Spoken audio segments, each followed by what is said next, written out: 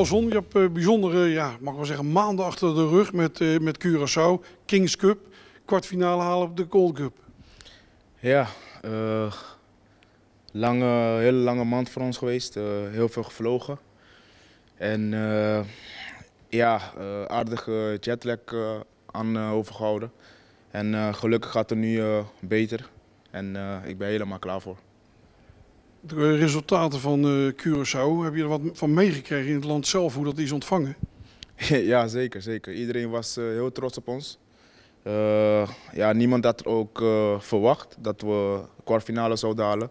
Dus ja, we hebben heel goed gedaan en het kan alleen maar beter gaan. Dan krijg je daarna vakantie. Had je zoiets van, ja, vakantie, ik moet ook nog snel naar Aden toe, want ik moet er ook voor knokken voor mijn plek. Ja, dat zeker, dat zeker. Um, ik had uh, twee weken vakantie gehad. Uh, ja, eigenlijk. Uh, ik kon eigenlijk heel snel al bij de selectie zijn. Maar ik dacht ook, weet je wat, ik had een beetje last van jetlag. gewoon mezelf een beetje zo goed mogelijk mijn lichaam te, la te, laten rusten. En dat heb ik gedaan, maar ik had, moet ik eerlijk zeggen, heel veel moeite mee in het begin. En ik begin nu wel mijn ritme te krijgen. Ben je niet bang, want heel veel voetballers krijgen minstens zes weken vakantie, dat het je daar misschien gaat opbreken in het seizoen? Nee, nee, nee. Ik ben er niet bang voor. Ik uh, weet heel goed hoe ik met mijn lichaam om moet gaan. En uh, ik pak uh, gewoon goed mijn rust. Dus ik ben er niet bang voor. Bij Adonaar, mutaties afgelopen zomer, Lorenz weg, Becker weg. Ja, dan denkt Elson Hooy natuurlijk van ja, wacht eens even. Ik ga mijn kans pakken, links of rechts.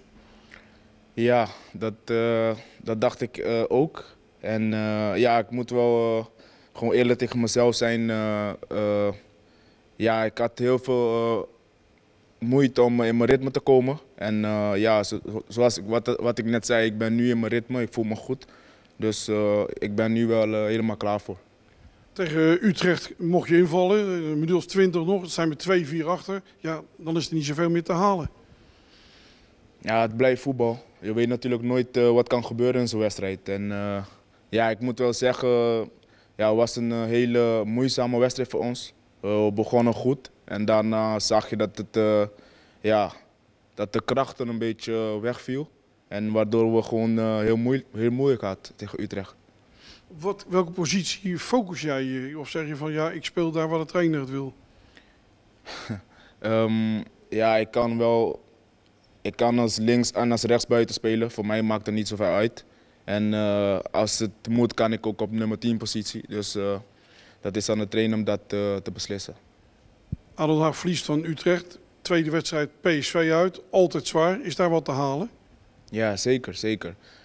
ik denk dat PSV ook heel veel moeite heeft om hun, ja, om hun spel, spel te maken, zeg maar. ik heb zelf ook de wedstrijden van hun gekeken.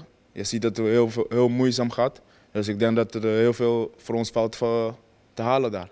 Als we gewoon compact spelen en uh, proberen te counteren, ik denk dat ze daar heel veel moeite mee uh, gaat hebben.